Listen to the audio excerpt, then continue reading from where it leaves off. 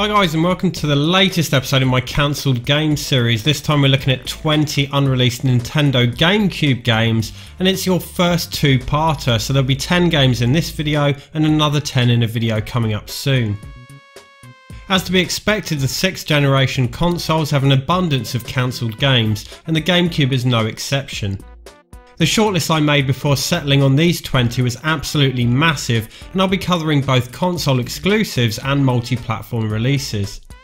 Although admittedly my GameCube doesn't get much attention these days, I did own one at launch and I think it's a fantastic little console.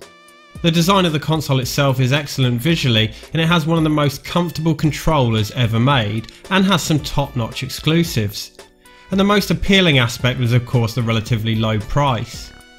But as good as a console's game library is, there are always a plethora of unreleased games that we never got to play.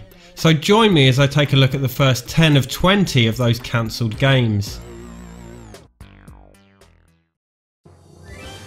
StarCraft Ghost was a planned GameCube, Xbox and PS2 entry in Blizzard's StarCraft series, set in a distant sector of the universe in 2499. In contrast to the usual real-time strategy gameplay of the series, Ghost was to be a stealth third-person shooter.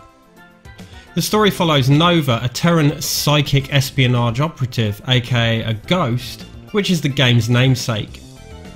The Imperial Terran Dominion, for whom Nova works, are engaging in a secret military project, and the game's plot involves a conspiracy surrounding this, although the full details are unknown.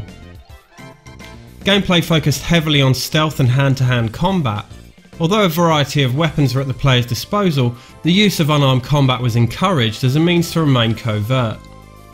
Nova also had a variety of gadgets, a cloaking device, thermal imaging goggles and an EMP device with which to disable electronics. The enemy AI sounds pretty advanced too, with enemies searching and even laying traps if alerted to Nova's presence, and they would even fire their weapons randomly in the hope of disrupting Nova's cloaking device. As a ghost agent, Nova had various powers as well, such as the enhancement of speed and agility. Numerous familiar vehicles from the StarCraft franchise were present in the game, several of which the player could pilot. StarCraft Ghost's cutscenes were pretty impressive too. Blizzard's cinematics team, which was originally created to produce StarCraft's cutscenes, were tasked with creating the cinematics for the game. Announced in 2002, it was initially being developed by Nihilistic Software, then in 2004, Swingin' Ape Studios took over the project. The planned GameCube version was cancelled in 2005 and development halted altogether in 2006. A novel based on Nova's backstory called StarCraft Ghost Nova, which at first was intended to be released in tandem with the game, was published in 2006 after development was indefinitely postponed. The reason behind its cancellation is most likely the intended release date of 2005, so with the Xbox 360's release looming, Blizzard thought it wasn't worth doing, and the resources needed to shift development to the next generation of consoles was simply too great. Dead Phoenix was one of the Capcom 5, no, not a quintet involved in an elaborate video game heist, but a set of 5 Capcom games that were planned GameCube exclusives. Unfortunately details about the game are thin on the ground, but it was to be set in a mythical world populated with demons, dragons and other mythical beasts. The player character can fly using wings reminiscent of Icarus, and the gameplay field seems to be considerably open, although even the true genre of Dead Phoenix is unclear. Despite the lack of information, it certainly looks intriguing and potentially good fun, I'm not sure why it was cancelled, but perhaps the plans for the Capcom 5 are a little bit ambitious, and like Icarus, Capcom flew too close to the sun with this one. A GameCube sequel to the N64's filthy adventure Conker's Bad Fur Day was planned, titled Conker's Other Bad Day. Development started in 2001 after the first game was published, with a plot that followed Conker's brief stint as king, after he spunks all the kingdom's money on drinking and prostitutes, he's tossed into prison and the game begins with his escape from his cell in the castle tower. The main antagonist was to be Cthulhu, a quote massive space poo, and the game would see old characters return as well as introduce many new ones. The footage on screen is obviously of the N64 original as there isn't really anything floating around online, but they did work on the storyboards and do some concept art for the sequel. Rare was bought by Microsoft and the developers struggled to find anyone at Microsoft interested in releasing the game, and they tried even into late 2004, just before Conker Live and Reloaded was released on Xbox in 2005. Kirby Adventure was a planned platform game first announced at 2005's E3. Although gameplay was a side-scrolling platformer, the levels were rendered in 3D. Kirby was able to ride on other players' backs in a co-op mode that supported up to four simultaneous players and could obtain special abilities from friends or foes. Despite this E3 trailer looking fantastic and the game seemingly being well into development, Kirby Adventure was strangely absent at the following year's E3 conference. The developers have since stated that there were three Kirby games intended for the GameCube that ended up in limbo and sadly Kirby Adventure was one of them. Absolutely nothing happened until years later at E3 in 2011 when a new Kirby game was announced for the Wii, at the time simply titled Kirby Wii. This turned out to be the almost identically named Kirby's Adventure, although it was released as Return to Dreamland in North America, which was essentially the final version of the original game in development for the GameCube. Diddy Kong Racing Adventure was a planned GameCube sequel to Diddy Kong Racing on the N64. Long-time viewers of the channel will know that Diddy Kong Racing is one of my favourite games on the console, so it's saddening to see a follow-up never made it to the Cube. I learned from PtoP Online, who also gave me these clips, that the game was pitched to Nintendo at some point in 2004. The story saw Wizpig returning for a rematch against Diddy Kong and his mates, racing on various customisable land, sea and air vehicles much like the original. The game consisted of 16 villages which were themed after Donkey Kong Country characters and each had three courses played both forwards and in reverse. I mean you went round the course backwards not literally reversed around the track. Diddy Kong Adventure built upon the foundations of the first game adding some interesting new features. Each character was to have their own special attack and the customization options for the vehicles were more elaborate and included upgrades that allowed the player to access previously hidden areas. In addition to the original cast, several other rare cameos were considered, including Conker and Banjo-Kazooie. Sadly, Microsoft bought Rare before the game could be developed, leading to numerous licensing issues with the game's characters. A real pity, as this is a sequel that I would have loved to see. Donkey Kong Bongo Blast is another racer in the Donkey Kong family of games and was announced at 2006's E3. The game involves DK flying through the air with the aid of jet propelled pair of bongo drums.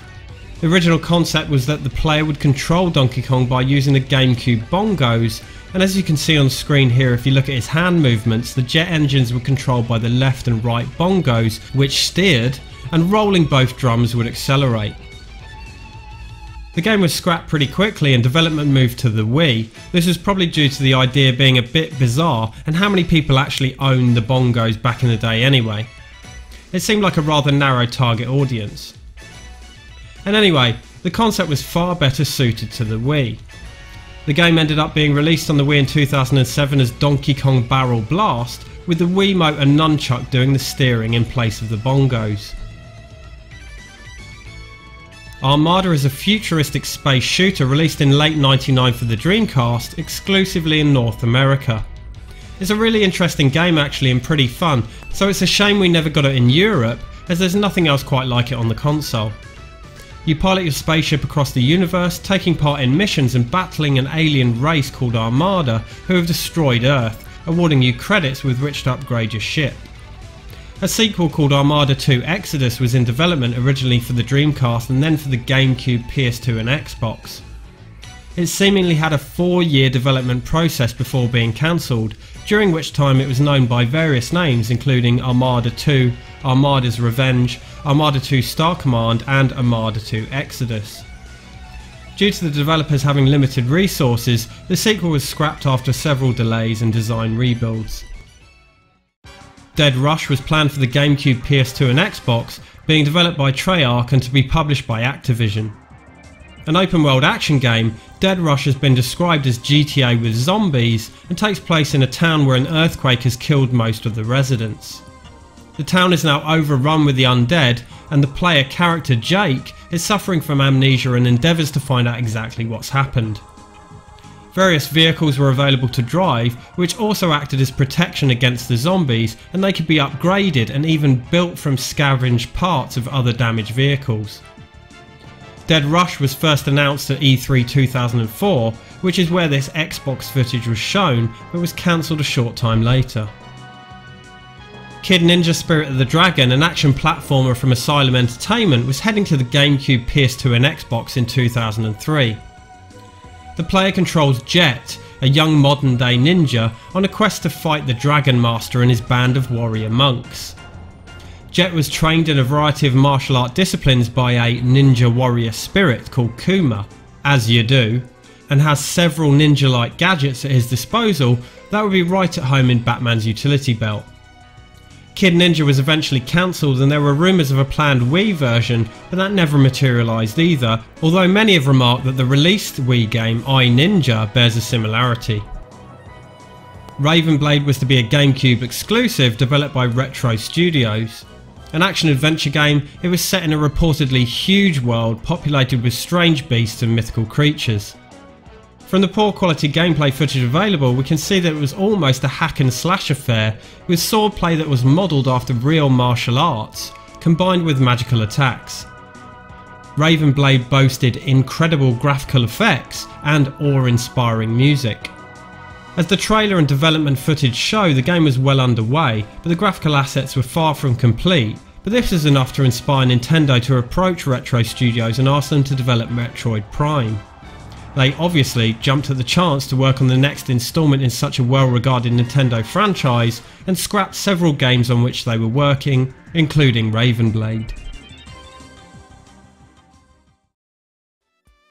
So those were the first 10 unreleased GameCube games we'll be looking at. Let me know what you think of the games on show here and stay tuned for part 2 coming in the next week or two and thank you very much for watching.